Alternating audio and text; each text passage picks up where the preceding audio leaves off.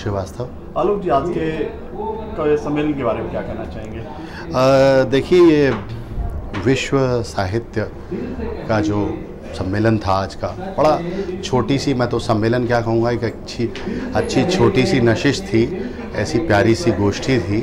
और बहुत शुक्रगुजार हूँ तेजिंदर शर्मा जी का जिनका हुक्म मिला और राय साहब और विश्व साहित्य सम्मेलन जो है ये उसका बहुत शुक्रगुजार हूँ। मुंबई आता जाता रहता हूँ, दिल्ली में नौकरी करता हूँ, पेशे से पत्रकार हूँ, लेकिन कुछ लिखता करता हूँ तो बस यहाँ आना जाना लगा रहता है। तो बहुत दिनों से ये एक चल रहा था सिलसिला कि एक दिन, एक शाम इस तरह से होनी है। तो बहुत अच्छा लगा आज इन सब के बीच मिल के अच्छी बात ये हो रही है कि हिंदी साहित्य हो या उर्दू अदब हो, लोग अब उससे बहुत अ, बहुत मोहब्बत के साथ और बहुत खलूस के साथ जुड़ रहे हैं। और ये एक अच्छे लिटरेचर के लिए और जब आप अच्छे लिटरेचर के साथ बात करते हैं अदब के साथ बात करते हैं तो ज़ाहिर सी बात है कि एक कल्चर डेवलप होता है जिसकी इस वक्त हमारे पूरे समय को ज़रूरत है। थैंक यू सर सबसे पहले आपका नाम आपका परिचय? जी। मेरा नाम उदय दाहिया है और मैं एक हास्य कलाकार हूँ। आज के सम्मेलन की बात करें क्या कहना चाहेंगे? विश्व हिंदी अकादमी के बैनर तले ये कार्यक्रम हमेशा यहाँ पर बहुत अच्छे साहित्यिक कार्यक्रम होते हैं। आ, इस इस कार्यक्रम को केशव राय जी और उनकी टीम कराती है और मैं इनके कार्यक्रमों में अक्सर आता हूँ जब कभी भी समय होता है। और यहाँ बहुत अच्छे अच्छे साहित्यकार बहुत बड़े बड़े लेखक कलाकार हिंदुस्तान और हिंदुस्तान के बाहर के भी बहुत सारे साहित्यकार इसमें सम्मिलित होते हैं और अपनी रचनाएँ और अपनी प्रस्तुति देते हैं। और मुझे भी मौका मिलता है यहाँ पर, जब तक समय मिलता है तो मैं आता हूँ। सुनता भी हूँ और कभी कभी मन करता है तो कुछ थोड़ा सा सुनाता भी हिंदी को ज़िंदा रखने के लिए क्या क्या तरीके अपनाते हैं? हिंदी जो है हिंदी को ज़िंदा लिए देखिए मैं तो एक हिंदी भाषी हूँ। किसी की मातृभाषा होती है, किसी की कामकाजी भाषा होती है। हिंदी भाषा मेरी रोजी रोटी है, क्योंकि मैं एक मंच का कलाकार हूँ, एक एक्टर हूँ, और मैं हिंदी भाषा में ही ज़्यादातर काम करता हूँ, मंचों पर हिंदी के कार्यक्रम करता हूँ। तो हिंदी भाषा मेरे अंदर रची बसी है, और हिंदी मेरे जीवन का एक बहुत बड़ा हिस्सा है। नमस्कार, मैं विश्व हिंदी अकादमी का अध्यक्ष हूँ और आज हमने इसको दो सत्रों में एक कार्यक्रम किया था, जो विश्व विख्यात कथाकार तेजेंद्र शर्मा लंदन से आए हैं और विश्व विख्यात ही कवि व शायर आलोक श्रीवास्तव। आज उनकी प्रस्तुति थी। तो ये हिंदी के प्रचार प्रसार और उसके लिए हम महीने में दो कार्यक्रम करते हैं। आज वही कार्यक्रम थे। दोनों की प्रस्तुतियाँ बहुत ही अद्भुत रही और कार्यक्रम बहुत सफल रहा। एक के बाद एक जब आपने शुरुआत की तो आपको लगा था कि ऐसे लोग जुड़ते चले जाएँगे। क्या बिल्कुल बिल्कुल। साहित्य प्रेमी हैं। लोग इतना लिख रहे हैं। आज की युवा पीढ़ी भी कहानी को लेकर बहुत ही नए नए विषय पर लिख रही जिस तरह से फ़िल्मों में आज जो रियलिटी सिनेमा है जो कहानी नई नई आ रही है इसी प्रकार से नए नए कहानीकार हैं जो लिख रहे हैं। और बहुत ही पसंद की जा रही उनकी कहानियाँ। थैंक यू सर जिन पे विश्वास करके जनता उनको वोट देती है कि अभी पार्टी सरकार बना के कुछ काम करेगी वो जो दुश्मन पार्टियाँ दिखती हैं एक दूसरे को आरोपित करती है ये ऐसा है वो ऐसा है। लेकिन जब इन बड़ी बड़ी विजनरी मिसेज इंडिया का सिलेक्शन है और मुझे पॉपुलर अवार्ड मिला और पूरे इंडिया लेवल पर है इसलिए इसको अंडरस्टिमेट नहीं करने का। इससे मैं इंटरनेशनल लेवल पे जा रही हूँ। और ब्यूटी से ज़्यादा टैलेंट का इसमें है। सिंगिंग एंड कैटवॉक एंड मेरा जो पुअर पेशेंट को देखती हूँ उसका मेरे मुझे पॉइंट्स मिले हैं। तो यहाँ हाँ। पहुँचने के लिए आप कैसे पहुँचे? डॉक्टर है किस तरह के डॉक्टर? मैंने मेरे मेरे साथ अच्छा ये रहा कि मैंने गवर्नमेंट हॉस्पिटल में गवर्नमेंट हॉस्पिटल छोड़कर मैंने पुअर पेशेंट को अभी भी मैं सौ डेढ़ सौ पचास रुपये लेकर पुअर पेशेंट को देखती हूँ अंधेरी वेस्ट में। और ये मेरे लिए पॉजिटिव रहा कि मैं पुअर को देखते देखते उनके ब्लेसिंग से मिसेज इंडिया बन गई। तो ये मैं अपने पुअर पेशेंट्स का ये मानती हूँ ब्लेसिंग्स मानती हूँ कि मेरा सिलेक्शन हुआ और मैं जीतते चली गई। टैलेंट तो बाद में आता है लेकिन ब्लेसिंग सबसे पहले आता है। अभी इंटरनेशनल में जा रही हूँ इसलिए मैं थोड़ा सा ज़्यादा सतर्क हो गई हूँ। थैंक यू तो मुझे इनवाइट किया गया केशव केशव जी ने। तो मुझे आज बहुत पसंद पड़ा और मैं पुराना पहले से जुड़ा हुआ हूँ। मैं एक प्रोफेशन से डॉक्टर हूँ और गज़ल सिंगर हूँ। तो इसमें मुझे इन्होंने सम्मान दिया। उसके लिए बहुत बहुत धन्यवाद इन लोगों का। थैंक यू आप क्या कहना चाहेंगे? मैं भी डॉक्टर हूँ डॉक्टर जया दयाल इनकी मिसेज और इस सिलसिले में इसलिए जोड़ा गया कि हम लोग कलाकार हैं और डॉक्टर के साथ साथ हम लोग सिंगर भी हैं। और मैं अभी तुरंत मिसेज इंडिया क्राउन लेकर आई हूँ। तो इसके लिए ज़्यादा उन्होंने बुलाया था कि थोड़ा आप बोल देना। मिसेज इंडिया मतलब कि वो टैलेंट एंड ब्यूटी कंटेस्ट में गई और बाय चांस टैलेंट की वजह से मैं जीत गई। तो अब जीतने की वजह से मुझको यहाँ बुलाया गया। और ये सिंगर एंड सर्जन है। यही हम लोग का क्वालिटी है। नहीं तो केवल डॉक्टर रहते तो यहाँ केवल दर्शक बन के आते। थैंक यू सो मच तो मुझे इनवाइट किया गया केशव केशव जी ने। तो मुझे आज बहुत पसंद पड़ा और मैं पुराना पहले से जुड़ा हुआ हूँ। मैं एक प्रोफेशन से डॉक्टर हूँ और गज़ल सिंगर हूँ। तो इसमें मुझे इन्होंने सम्मान दिया। उसके लिए बहुत बहुत धन्यवाद इन लोगों का। थैंक यू आप क्या कहना चाहेंगे? मैं भी डॉक्टर हूँ डॉक्टर जया दयाल इनकी मिसेज और इस सिलसिले में इसलिए जोड़ा गया कि हम लोग कलाकार हैं।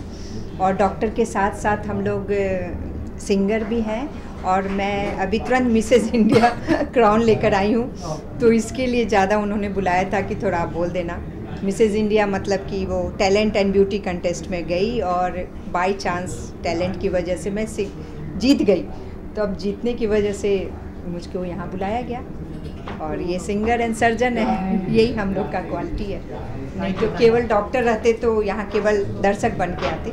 थैंक यू सो मच आज की जो गैदरिंग है, वो बाकी दिनों की गैदरिंग से थोड़ी फ़र्क है और हटके है। क्योंकि आमतौर पे जो गैदरिंग यहाँ होती है, वो यहाँ के कथाकार, यहाँ के कलाकार, यहाँ के लोगों से बातचीत करते हैं।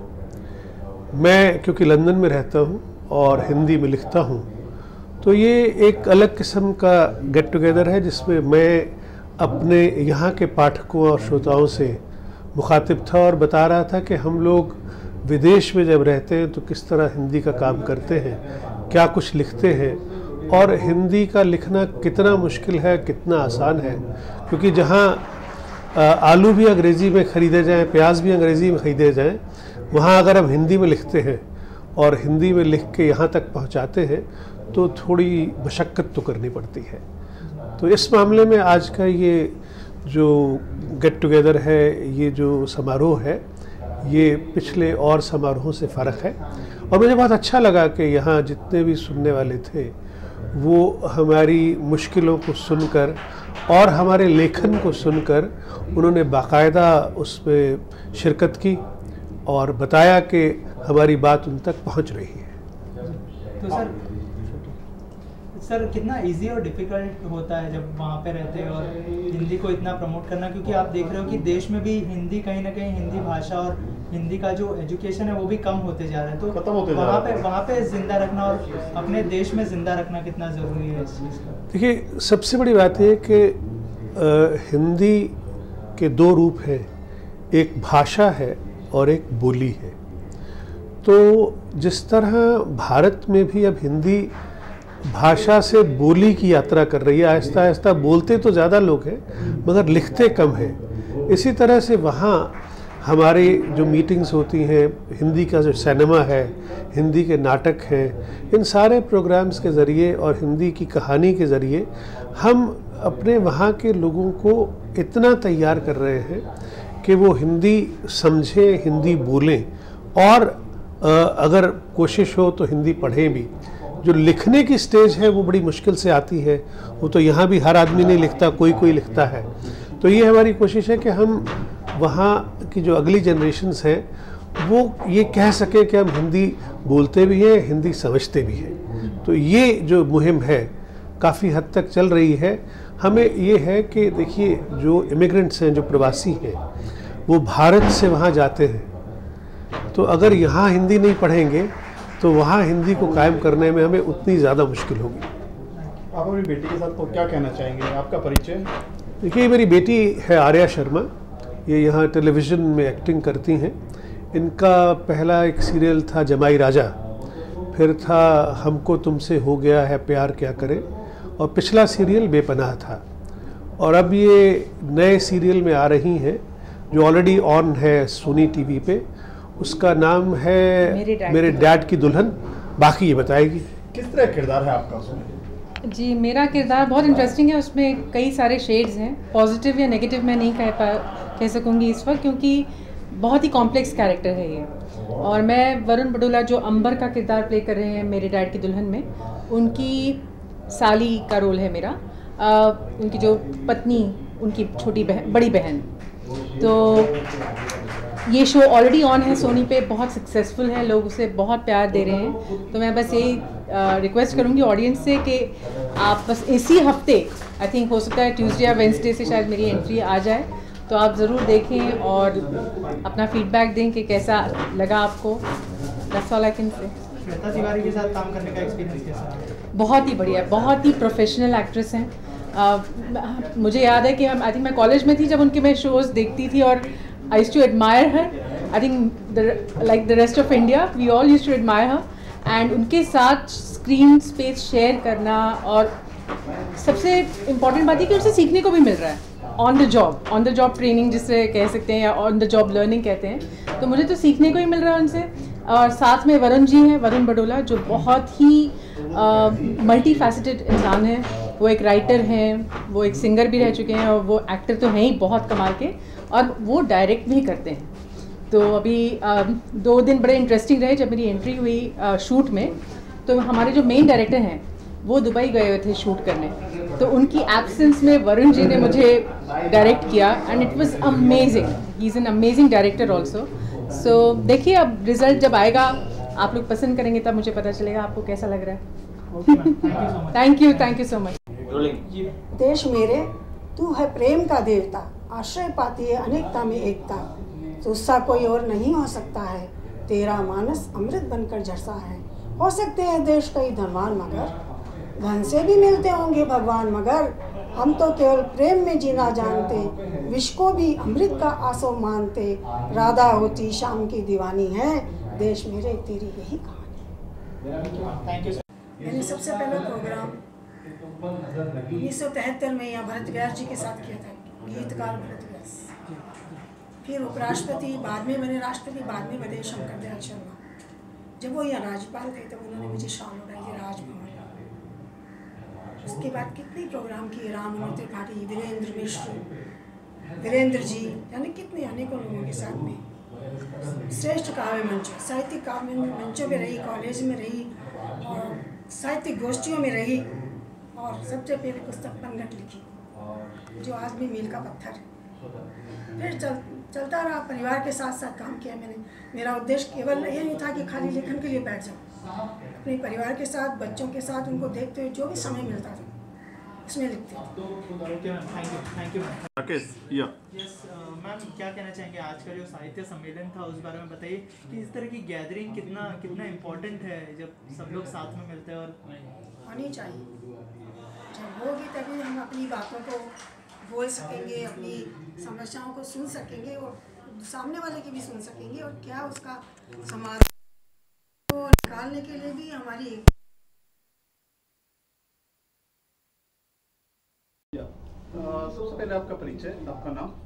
मैं उज्जैन से गर्विता जैन। मैं आज हिंदी विश्व एकेडमी का ये जो कार्यक्रम है उसमें मैं आई हूँ और मेरे को बड़े गर्व की बात है कि उसमें विश्व के हिंदी के लंदन से आए तेजन शर्मा जी के सामने। अपनी प्रस्तुति देने का मौका मिला है। इससे पहले आप मुंबई में कर चुके हैं। हाँ। परफॉर्मेंस कुछ सम्मेलन वगैरह में आप इससे पहले पहली बार आ रहे हैं मुंबई? नहीं पहले भी कर चुकी हूँ पहले भी एक हिंदी का हुआ था वहाँ पे प्रोग्राम इस्कॉन मंदिर में तो उसमें मैं दो तीन बार परफॉर्म कर चुकी हूँ। कितना एक्सपोजर मिलता है कवि को, नए पुराने कवि हास्य कलाकार, सबको कितने ऐसे अगर इवेंट्स होते हैं, क्या कहना चाहेंगे उसके बारे में? ऐसे इवेंट्स जो होते हैं, हम बहुत सारा प्रोत्साहन मिलता है। मतलब नए नए लोगों से जुड़ने का मौका मिलता है। और मतलब जितने भी एक्सपीरियंस लोग हैं, उनको सुनने का, उनको देखने का मौका मिलता है। और जो लोग आते हैं वो बड़े एक्सपीरियंस वाले होते हैं। और हमें बहुत अच्छा लगता है कि हम उनको सुन पाते हैं देख पाते हैं और वो अपनी अपनी बातें हमारे साथ शेयर करते हैं कि हमने अपनी जर्नी को कैसे शुरू किया कैसे इन्वॉल्व किया है अपनी लाइफ में। आप किस तरह की आपकी रचना रहती हैं या फिर क्या? मेरी रचना है हर तरह की रचना रखना चाहिए हिंदी में भी रखना चाहिए। मतलब हिंदी को भी प्रोत्साहन करना चाहिए साहित्य को भी प्रोत्साहन करना चाहिए। मतलब हर तरह की भाषा को भी प्रोत्साहन देना चाहिए। एक लाइन गुनगुनाएँ कोई आप जो आप कोई भी आप सुनाना चाहेंगे? आम, हिंदी का गीत ही मैं आपको सुना देती हूँ। बस छोटा सा ही मैं सुनाना चाहती हूँ। गर्व है हमारा, स्वाभिमान है। अपने भारत की सी पहचान है।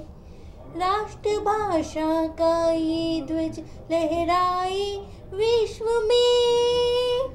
है ही संकल्प ही अरमान है। जब तलक हिंदी है हिंदुस्तान है। धन्यवाद। तो कोई मीठा बहन सुना जा। कोई मीठा बहन सुनावे। कोई हाथे माता कोई सिसकारा सुलगावे। कोई इत्र फुलेर लगावे। कोई मीठा बहन सुनावे। कोई सिसकारा सुलगावे। कोई इत्र फुलेर लगावे। आज इत्र फुलेर लगावे। क्या हो गया जे? क्या पानी हो गयो? ईशो की कोई न लायो चूंदड़ी, कोई न लायो चूंदड़ी ले कोई न लायो चूंदड़ी। सारोगा चूंदड़ी, हमारे यहाँ शादी होती चुबाई तो जाना। विवाह कर लो भाई, ऐसा ही है।